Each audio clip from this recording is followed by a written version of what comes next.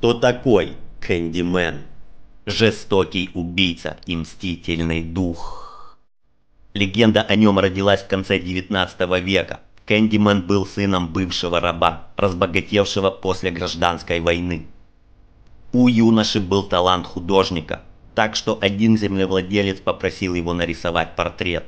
Кэндимен и дочь этого человека полюбили друг друга, что однако не входило в планы отца.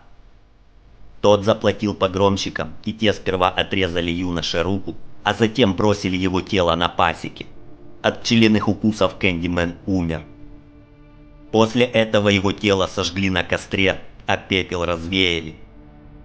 Кэндимен поднялся из могилы и стал одержимым местью призраком, обитающим на земле, где он был убит.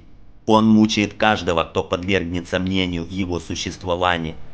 Возникла городская легенда, в которой говорилось, что тот, кто скажет имя Кэндиман перед зеркалом пять раз, вызовет призрака, который убьет своего призывателя вместе с кем-либо еще, кто стал свидетелем появления призрака. Так что, детишки, не балуйтесь призывом Кэндимена.